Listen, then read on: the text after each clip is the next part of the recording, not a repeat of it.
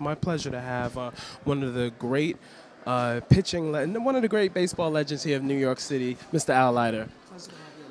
It's because you're a Mets fan.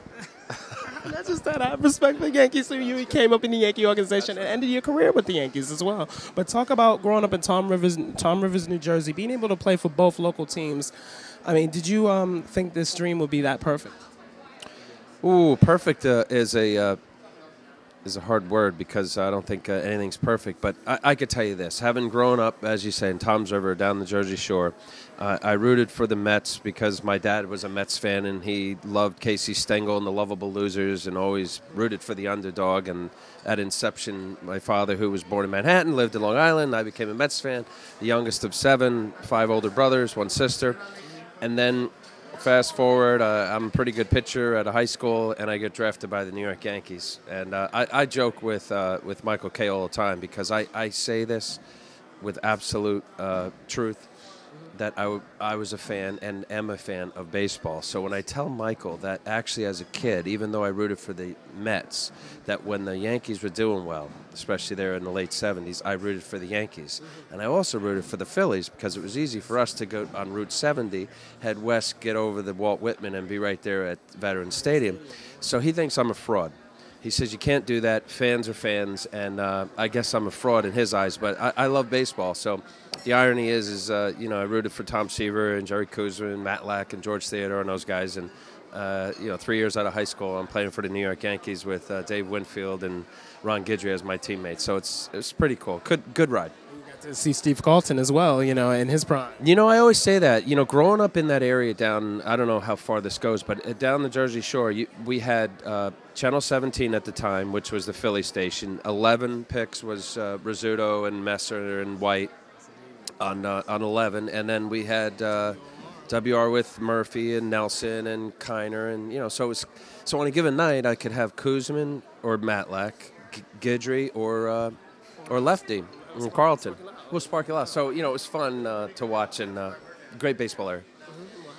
I wanted to talk to you. You have a sense of um, being part of winning teams, and you bring that leadership in the clubhouse, and it shows in your pitching. Talk about um, the foundation that was laid for you when you were coming up through the ranks to be able to to have such a successful winning attitude and winning uh, demeanor. I, I, think a couple things. I, I was lucky to be part of winning organizations, and winning organizations in the sense of that I was on teams that actually tried via payroll. Even back, you know, before the $200 million payroll, you know, starting with the Yankees, they always tried with Mr. Steinbrenner. I got traded to Toronto Blue Jays during the, the late 80s and early 90s. It didn't get better than that. There was a winning team there. I was lucky to be part of two world championships.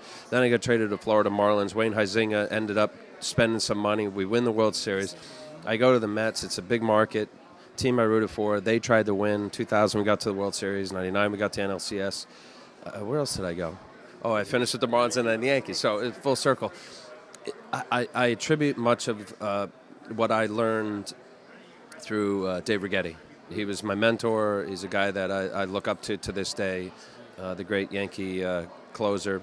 Now the, the, Giants, right? Pitcher coach. Pitcher coach for the Giants, and uh, you know, he just just he taught me how to be a pro. And uh, you know, I, I, think all along in life, you know, whether whatever your job is, you know, you, you look to your mentors or those who are before you, and you, you pick you know the pluses and minuses of uh, people that you respect, and you kind of adopt it as yours, and he's one of them. I want to talk about 1999, the um, the playoff to get it to get the wild card slot at Cincinnati. That two hitter you pitched was that the greatest game you pitched in your career? How did you feel about it? How did I feel? Yeah. It was an unbelievable game. you said before the game, that, or before the so biddies, Mets fan, grew up near the Shea Stadium and all that.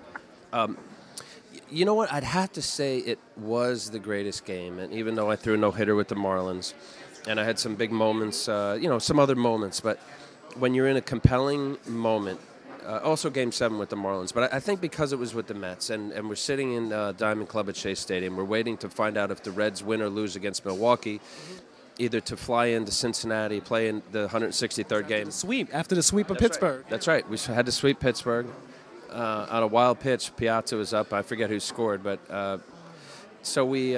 So it was cool because I'm sitting there and I knew I was either going to start game one against the Diamondbacks against Randy Johnson or I was going to pitch this one game playoff. we ended up having to do the one game playoff. You know, it was a great game. Alfonzo hit a home run in the first. Rickey Henderson hit a home run in the first. I had a nice little lead, and uh, it turned out to be a, a well pitched game. Now, I want to talk about um, like here. Talk about how special this cause is because Alzheimer's it hits every family. Well, um, for one, uh, you know, anytime you can support a, a, a teammate or you know, in this case, uh, a, an ex-colleague and a guy that I played against, and Joe Girardi, and also Michael Kay, where this is near and dear to him with with the passing of his mother. Um, and, I, and I think anybody, you know, look, you know, we're, we're living older, and uh, you know, people are, uh, you know, dealing with issues other than, you know, you know, traumatic injury or uh, death uh, moments. Uh, what am I saying? I, I, you know, whether it c- cuts your life short. And uh, I, I, think of people now that are living into their latter years, and now we become more defined and understanding of dementia and you know Alzheimer's and other uh, mental brain disorders that that you know memory loss, etc. So. I think it's very important. I, um, my point is, I, I, think it's very important because we're going to see more people living into their hundreds, and you know, the the more we can allow us humans to uh, keep our minds longer, uh, this would be great.